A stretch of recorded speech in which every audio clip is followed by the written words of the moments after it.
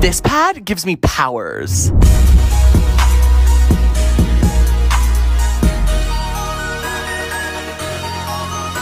I'm obsessed with everything that Andrew does. I think he's the funniest person ever. I know Abby Lee said we can't tumble in socks, but I actually love tumbling in socks. He starts his front aerial off of one leg. Starts it here. Normally in a front aerial, you get a nice hurdle, and then you get to push with all that power. I'm gonna warm up like a regular before I even try the swing.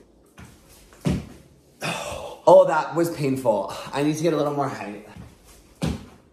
There we go. Okay, should we go for the swing? And then if I can do it, I'll put it in the CapCut filter like him. Oh, oh, that hurt like a bitch. I'm only doing this once. Oh, let's see what it looks like in CapCut.